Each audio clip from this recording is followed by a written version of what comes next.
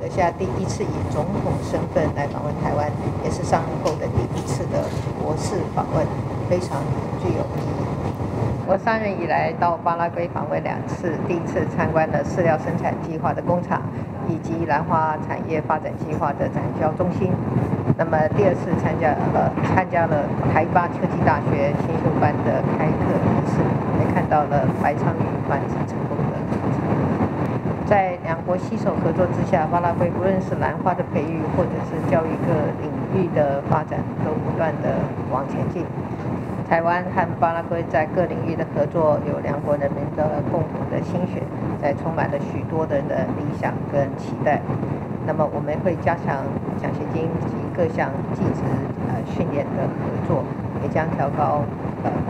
美味的巴拉圭牛肉的输入台湾的配额，来促进双边的。那么今年二月台巴经济合作协定已经生效，差不多总统阁下这次来访也将亲自主持巴拉圭投资商机的说明会，来促进双方企业界的互动交流。我也希望总统阁下在汉访谈贵宾都能够借由这个行程，来了解台湾的各项呃经贸建设跟的最新的发展，再一次体验台湾人的好客跟热情。那么今年台湾跟巴拉圭建交迈向第六十一。巴拉圭政府